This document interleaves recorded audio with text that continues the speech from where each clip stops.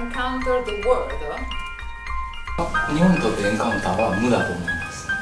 Now, the skin, uh, which is the first surface of contact uh, with the world, uh, あ力が抜けてるんですエンプティだ flexibility, resilience, and permeability 弱く、えー、と構成していく allows communication between the inside and the outside.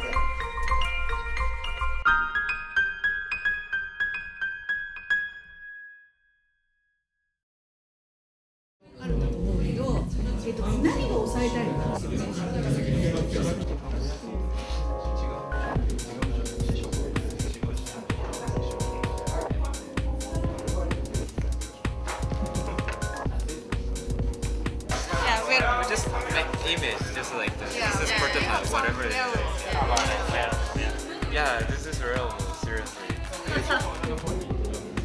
自分からは外側が見えるんですけど、I can see outside.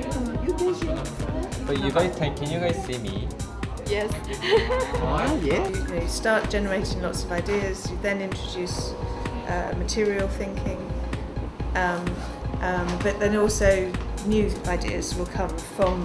manipulation. どういうファンクションを求めてるの結構欲張りって言っちゃおかしいけど熱も熱も熱も逃がしたい冷やしたい空気もきれいにしたいとか結構いろいろあってくるんですけど水と空気どっちがあればどっちができるかをはっきりさせたらそのどっちかを取ればいいなと思って。だから H2O があれば O2 ができるから。だってアンモニア濃度らしいだってつながってるじゃないですかどうせ口も鼻も。で肺から出てくわけですよ。そこのだってアンモニア濃度って多分口から出たとしても統合させて、うん、より精度を上げるっていうこともあるじゃないですか。人間ってイメージしたものって必ず作れると思うので新しいものを作っていく場合って多くのこうなんていうんですかね。思考であるとか、うん、と体験であるとかっていうその総合値っていうものがすごく重要になると思ってるので。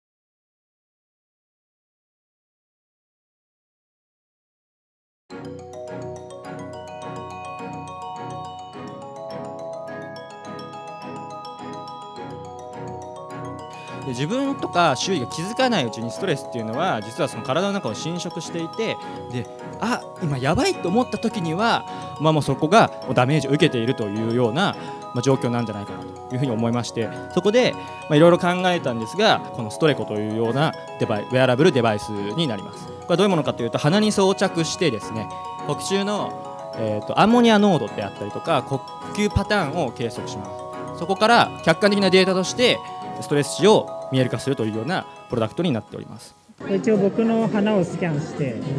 その形にくり抜いて作りました。ちょっと僕も鼻高くしたかったんで、ここを高くして、でシャープな鼻先にしたですね服の中に空気をこう取り込んで、えー、とそれがこう人の体をこう包む包んでいく、えー空気がこう人をまとう、まあ、そういう風な、えー、とデザインに発展していきました。やっぱりその体の周りに最適化された空間を、えー、と作ることで、まあ、それを着てる人の快適性を実現する、えー人間だけじゃなくて環境にとっても、まあ、何かこうプラスになるような、えーものが作れないか具現化して、えー動く形実感が湧くような形にするにはどうすればいいか、扇風機のようなものが、えっと実はついてまして、えっとこれがこう膨らんでいくんですよね。で膨らむとこう球状の